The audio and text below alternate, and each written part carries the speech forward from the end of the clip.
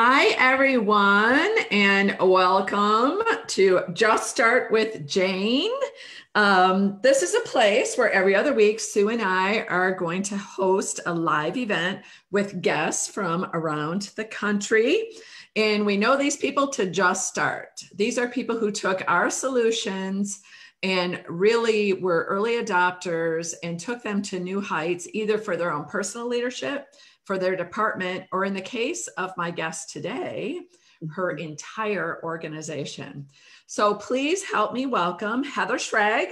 Heather uh, is the Quality and Risk Management Director at a five star organization in Eaton Rapids, Michigan, Eaton Rapids Medical Center. And Heather, thank you so much. I'm so excited to have you here. Thank you, Jane. um, I want to let you know that we are particularly uh, interested in the subject this month of alignment. And when you think about alignment, you know, think about okay, everybody's on the bus we got everybody on the bus. Mm-hmm. Uh, they're all sitting in the seat that they were meant to sit in, doing job that, jobs that give them great purpose and intent and, and the mission. And the bus is the mission, vision, values, strategy, going down the bus or going down the road all at the same time without anybody pounding on the back door, trying to get open the fire extinguisher and, you know, all that kind of stuff. And, you know, your organization, wow, talk about amazing over the top success. And at the time, you were brand new to the organization and they were brand new to a journey. In fact, you were hired at, at the beginning before you got three or four hats to, to lead the journey, uh, which is named uh, 212. And so, you know, I really see you as a leader who took this, this this idea or the solution, uh, especially when it comes to strategy and goals and alignment, and and really coached others. So you're not a senior leader. Nope. You you were the initiative champion, but still you were a leader of leaders. I truly, truly believe that uh, about you. So, describe for me how you coached peer leaders to be in alignment with 212 how you helped people see this is the direction we have to go in this is really the right place. Tell me how you did that. Well, thank you jane so much. So when i first started it was literally day one. Uh, so i report to the president and ceo tim mm-hmm. and day one he said heather this is going to be part of your role. And he believed in me. He gave me that confidence right from day one. And mm-hmm. that was so important so first of all, him believing in me and supporting me was huge. And really from, from that moment, um, I got uh, your information. I, I, was put into touch with uh, and connected with you and Sue. And really from there, the ball started rolling. So we implemented the strategies that uh, we have learned and um, and taken from you and really made our own. So you know, Capstone has really been this integral part of our journey all along. And what I really loved from the tools that you've given us is that it's not just a cookie cutter that, you know, here you go, put it into place. You really encourage us to make it our own. And that's what we did. So with the 212 degree journey, um, you know, yes, we were given the, the mold of, um, you know, the steering team and the, the journey teams, but we made it our own and let it fit our journey. So that was really amazing. And getting um, to lead that journey has um, really been a, a, sheer honor. And so once we we developed, you know, what is this going to look like? We took the concepts that we learned from from both you and Sue and really just ran with it. And you know, one thing we knew was that we needed to get something that was going to have some staying power. Mm-hmm. Um, you know, people weren't gonna gonna buy into something if they knew it was gonna be the flavor of the week or the flavor of the month, and yeah. that was gonna change. Um, so we knew that whatever we um, developed and adopted, it needed to stay. It needed to stick. It needed to be important, and we needed to have buy-in.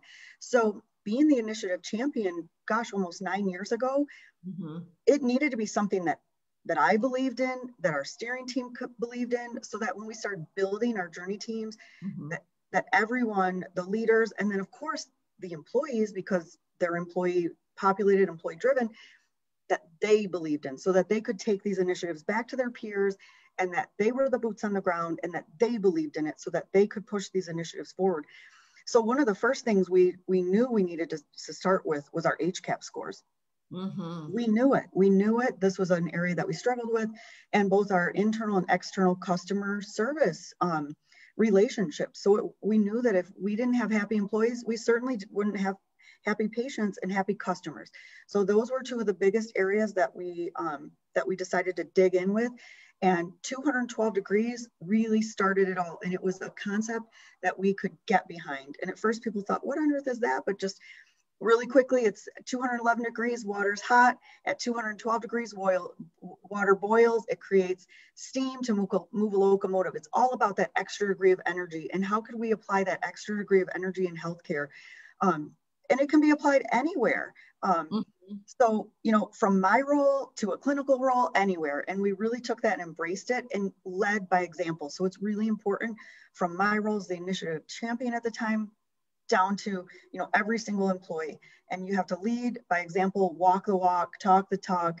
You know, it's not just something that's going to get shelved that looks really good on paper and get shelved. We're nine years into our journey and um, of course, we've had ebbs and flows and we've had to kind of PDSA it along the way. Mm-hmm. But um, I think that was the biggest piece is finding something that we could make our own, get behind, and lead by example.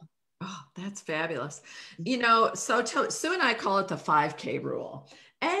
Every once in a while, an employee driven team will get a wild hair and just decide that they're what they set out to do, the original action plan or the original org goal that they were striving to, to assist with, you know, in alignment with strategy, org goals, and then these teams that you assign your, your org goals to, or a department head just gets this wild hair and uh, says, you know, I'm going to raise money for a 5K because that's fun.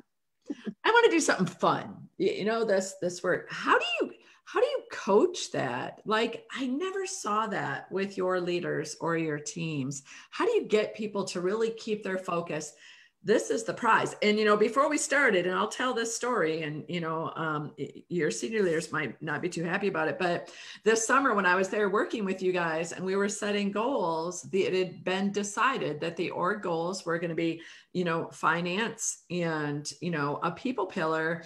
Mm-hmm. And you were, you were working towards, guys, we can't take our eye off the ball that when we strive for five star recognition, that's gets us so much. The ripple effect of trying to attain that will get us financial success, will get us employee engagement success. It's something people can get behind. Uh, and you didn't win that argument, sister. No, no, no. But I love how you made it. Mm-hmm. I love that. So, if you could for me, I, always when I see you, Heather, and Sue totally agrees with me you know you are our, our, number four change challenge is how do you get people to be early adopters and to follow where you lead? And the second thing is how do you diffuse? How do you diffuse a message? How do you get it? And i call it positive perseverance when i think about you. So you know how did you role model that and speak the language every day well, so again, I think it goes back to believing it. Yeah. So if you believe it and you feel it inside of you, it's going to come out of you.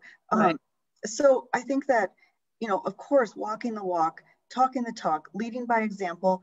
And when people come to you to talk about it and they have questions or concerns, of course, you want to listen to them. You want to hear them out. You want to validate them. Mm-hmm. It's not easy. Everybody doesn't doesn't absorb it or get it um, at the same level or the same, same um, time. Um, the same same time, but mm-hmm. meeting them where they're at, giving giving them you know suggestions and helping them along the way. You know, not everybody's as great at technology and filling out the forms. Um, you know, so I really try to assist them when where I can. Um, being over quality, goal setting is what I do. Mm-hmm. So goal setting, you know, when we strategically plan, we include our leaders in um, strategic planning. It's not just the executive team that's setting the goals for the organization. We include our leadership team because if we include our leadership team, they're going to be more willing to buy into it. You Yeah. know, we goal set for the departments. We include our employees in that goal setting because if we include our employees, they're going to be more apt to help work towards meeting those goals. It's all that cascading effect. And in the past, we had five pillars for our hospital goals. Unfortunately, because of COVID, I hate the word COVID now. I try not to use it as a crutch. And you're kind of part of that that that um, helped me with that. But Yeah. we went from five hospital goals to two. That was really hard for me Mhm. um, because to me, I don't want to use COVID as a crutch. Why Right. can't we have five hospital goals? But that Yeah. was a decision that was made, and quality wasn't one of them. It's yeah. the first time in nine years we've not had a quality goal. But for me, as a leader, I kept a piece of the star rating, um, readmissions as part of my goal. Yeah. Um, and you know, it still is important to so many areas. We can't take our eye off that focus. Yeah. Um, so many areas we still live and breathe quality every single day. We're a hospital, we people. We can't take our eye off that ball. yeah. Um, but letting people know, being transparent, being open, um, keeping that communication flowing, letting people know that you're here to help them. This isn't another thing to do in the day. This is a complement to their day. This is to help make it easier, help organize them, get them out of the whirlwind. I'm not going to say that I'm perfect by any means. I get sucked in just like everyone else, but we're here as a team. And if I can help with that, please lean on me. yeah. Um, so, you know, I think again, goal setting, cascading down, involving everybody so they know they're part of the solution. Mhm. Um, living it, breathing it is huge. And uh, maintaining that positive attitude. Of course, we all have our down days, we get frustrated, right. Right. but living it and breathing it. I mean, I got the I got the um the license plate for it. You know, the 212 does. license plate. does. It's important. It's important. yeah. And it's not going away. Right. It's important. Well, and I think, you know, it crosses over into your personal life too. Absolutely. We all give extra effort in our relationships at, at home as well. You know, I got to tell the story when you said, you know, goals are me, I am goals. And uh, I'll never forget the day. It's a June beautiful day. Your fiscal and goal year is July 1. And you, my phone rang and it said Eaton Rapids Medical Center. And I thought, well, that's weird. I'm like, hello. And it's Heather. And she says, Jay, I just helped 17 leaders set their goals in alignment with our organization's strategy and org goals. And I can't think of a dang goal for my department. Help me. So, yeah, I remember it. I remember. Yes. I still tell that story everywhere. Yes. Yes. Hospital, number one in the state of Michigan. Yes. And the primary goal chick is calling me on the phone. Yes. Help Yes. Well, it's easy to help other people. You can look at them and say, okay, you've got this HCAHPS score, you've got this HCAHPS score, you've got this patient volume or this financial volume. And here I am in quality and risk, and I've got all these balls helping other people. And then I look at myself and, yeah, Jay. it was hilarious. All right. Well, thank you so much, Heather. Our Thank call to action for everybody out there. If you are struggling to get everybody on the bus, right? If you are struggling, if you've got five year olds on your bus all in the wrong seat and nobody's aligned with you and your message and and your strategy, book a call. Our website www.capstoneleadership.net and uh, we'd be glad to talk you through it. The best call you'll ever make. Yes. Thank you. Thank you.